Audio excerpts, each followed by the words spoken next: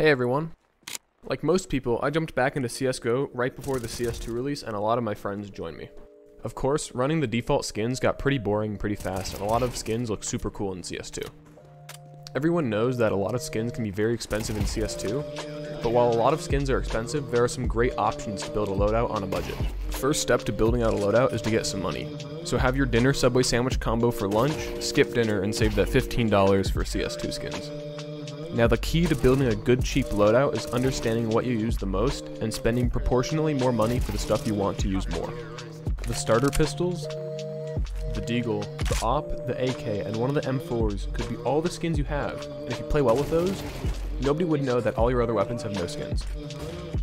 I'd still recommend using the best gun for the situation, even if you don't have the best skin for it though. If you use other weapons, maybe consider splitting up your budget a little differently to get a skin for the other guns you might use. Alright, and we'll start with the skins on T-side. First, for the Glock, the Ironwork is a great option, a subtle twist on the default Glock. The black pairs well with default gloves and you can pick this up in Minwear for 25 cents. The Glock Wraith is a similar price and look, with little glowing green sights. It can also be picked up in Minwear for around 40 cents. If you're not into subtlety and you want flashier options, the Candy Apple, Bunsen Burner, and Moonrise have a little bit more flair for a little bit higher price tag. The AK is a bit more expensive for most skins, but there are some pretty good budget options. For skins that are subtle and pair well with default gloves, the Slate in Field Tested, the Elite build in Minwear, or the Steel Delta in Field Tested look great.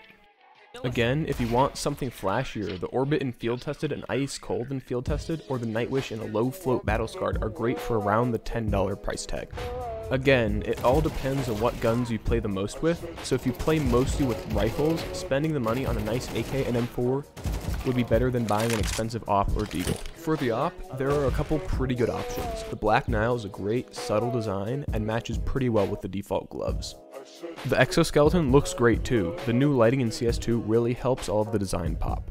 For a little more flair, in my personal choice, the AWP Atheris is a great budget option. It looks great at all floats because the snake doesn't wear with the rest of the skin. If you're an AWP player and you want to spend a little bit more money on your AWP, the Fever Dream in Field Tested looks pretty good and goes for around $9. CT, or we're on T side. I'm hitting hops! I went zooming.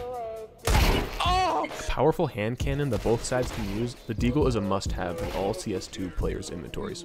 My personal Deagle skin, the Corinthian, is a skin that looks amazing in CS2 with the new weapon lighting changes. The engravings and ridges on this are so defined and pronounced. The Corinthian wears really well, so the different floats allow you to choose the shade of metal, with the factory new being brighter than well worn.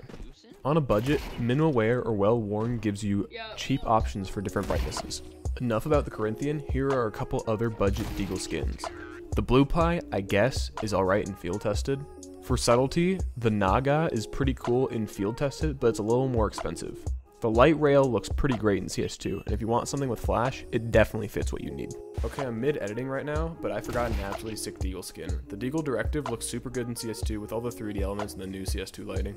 On CT side, you'll probably use both the M4A4 and the M4A1S, so it's best if you can get a skin for each, but if you can only get a skin for one, it's up to personal preference and what works best with your playstyle. There's three great budget skins for the M4A1S. The Nitro is a classic and the black matches the dark default gloves with the orange giving a little pop of color. A controversial option, but one that I personally enjoy is the Mud Spec. In CS2 with the new lighting, the skin is a great gold color in Battle Scarred, but looks great at the cheapest option field tested. For a skin that is a little flashier, the Night Terror is another great option. A little more expensive than the others, but it has a different color depending on the float. The cheapest float, field tested, looks great as well. I'm personally not a huge fan of the busy design, but if you want an M4A1S with color and you're on a tight budget, the M4 Azores might be the right skin for you. The cheapest float field tested looks great with very little visible wear. For the M4A4, the best budget skin in my opinion has to be the Magnesium. While the flames are kinda corny, the lighting in CS2 makes this thing really shiny and just has a great subtle twist on the standard M4A4 design. In field tested, the skin is really cheap and really one of the best budget M4A4 skins. I guess if I'm giving more options for each skin, I have to do another option for the M4A4. I'm not a huge fan of the super military style, but the M4A4 polymag definitely is a little more interesting than the default M4. And finally, to end this all off, the only CT side starting pistol, the USPS. There are a lot of great budget options for the USPS, so I'm going to quickly list off some of my favorites. The Lead Conduit, Black Lotus, Ticket to Hell, and Cyrex are classic options. For a more expensive, colorful choice, the Cortex is a great skin. If you're the mud-stained M4A1S and Polymag M4A4 guy, the Desert Tactical USPS is for you. The red trigger just has a little pop that makes the skin a little more interesting than the other basic camo skins. Personally, I really like subtle skins, so I have a little bit of bias for the skin. It's a little pricey, but the USPS Stainless really has to be my personal favorite skin on a budget. If you don't like the choices I've shown you, or maybe you're trying to find skins for other guns I didn't give options for, try heading over to a website that shows all the different weapon skins. For this video, I used CSGO Stash, which really was a great resource for finding new looks pretty easily.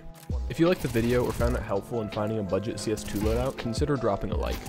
This is my first CS2 video, and I've got a long ways to go with this sort of content, so I'd appreciate any advice in the comments.